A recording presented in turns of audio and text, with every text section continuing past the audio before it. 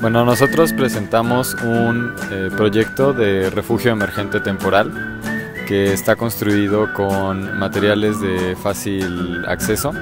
Esto para poder dar un albergue temporal a las personas que sufrieron eh, algún desastre natural.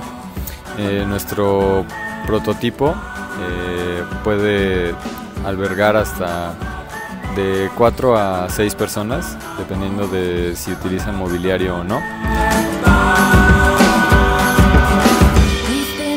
De parte de diseño industrial nosotros nos enfocamos a ver la posibilidad de que este mismo albergue temporal fuera de fácil armado para las personas, con el objetivo también de que tuviera el menor uso de fuerza posible, para que la gente pudiera armarlo de una manera rápida y eficaz sin necesidad de algún tipo de herramienta pesada.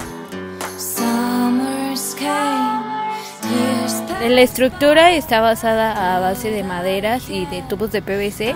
Eh, la herramienta, la única herramienta que utilizamos es una matraca y es de fácil acceso. Tiene un costo aproximado de 3 mil pesos, entonces lo que permite que a las personas a las que se les brinde lo puedan adquirir de manera fácil y que también el armado sea muy fácil. Este proyecto comenzó porque nosotros como estudiantes después del sismo del 19 de septiembre queríamos ayudar ya sea en brigadas, ya sea contribuyendo con víveres o con otras cosas y nos dimos cuenta que en realidad como universitarios nos tocaba responder a México con los valores que nos daba la universidad y con el conocimiento que pues todo México está ayudando para que nosotros podamos obtener.